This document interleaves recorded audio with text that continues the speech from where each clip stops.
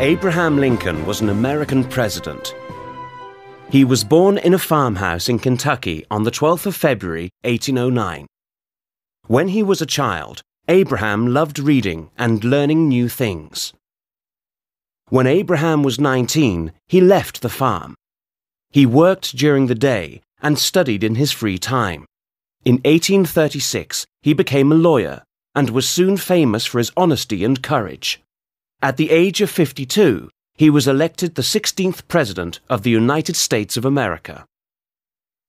While he was president, he guided his country through the American Civil War and stopped slavery. As he promised, this nation shall have a new birth of freedom, and that government of the people, by the people, for the people, shall not perish from the earth. On the 14th of April, 1865, John Wilkes Booth shot him while he was at a theatre. He died the next day. Abraham Lincoln was more than just a great leader and a great speaker. He wanted to make life better for everyone. His statue sits in the Lincoln Memorial, and to this day, people visit it to admire Honest Abe.